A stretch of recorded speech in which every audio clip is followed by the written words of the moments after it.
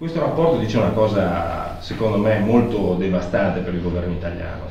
Cioè con 100.000 persone che sono arrivate in questo paese, 10.000, 10, il 15% di queste persone sono escluse da, dall'accoglienza. Qual è la prima cosa che chiedete con urgenza al governo? Quello che chiediamo è quello di eh, ampliare più velocemente possibile eh, in modo eh, strutturale l'accoglienza in Italia, il numero di, di, di posti letto per, eh, per, le persone presenti in Italia e quindi dare l'opportunità a persone che vivono nei siti informali di essere accolti in, in situazioni più dignitose. Chiediamo comunque al governo di occuparsi dell'accoglienza e dell'assistenza diretta di queste persone, non demandando questo lavoro esclusivamente alle organizzazioni eh, non governative. Alla luce di una stagione che si prospetta difficile, senza un piano finora, non sappiamo se esista un piano delle, del governo italiano. Sì, ehm, tenendo conto che alcune dinamiche geopolitiche eh, eh, stanno cambiando i flussi, quindi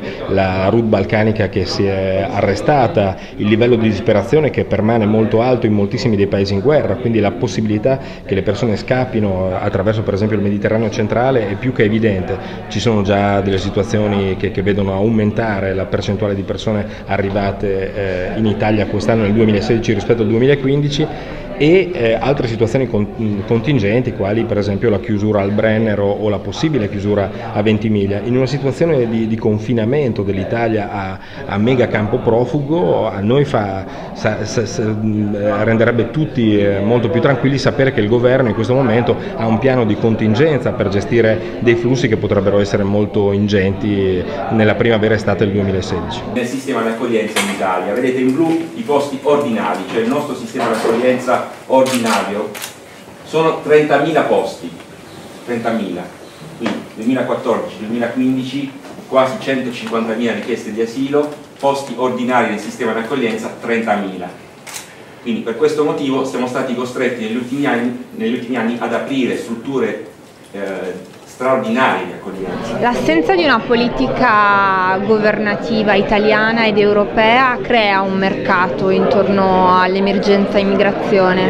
Eh, noi vediamo essenzialmente due problemi. Innanzitutto è un problema di, di capienza, cioè i posti sono insufficienti, costituito da poco meno di 30.000 posti, quando invece negli ultimi due anni abbiamo avuto eh, quasi 140.000, eh, nel 2014-2015 140.000 richieste di asilo. Il secondo problema è che il sistema di accoglienza in Italia si fonda quasi interamente eh, su, su strutture di accoglienza straordinarie, vuol dire strutture di accoglienza messe in piedi eh, in, in, in, condizioni di emergenza. In questa accoglienza ecco, non strutturata di emergenza con enti gestori senza esperienza che poi produce all'uscita dall'accoglienza, produce queste condizioni di marginalità perché semplicemente fuori dall'accoglienza il rifugiato non sa eh, che tipo di, di percorso intraprendere per rendersi completamente autonomo.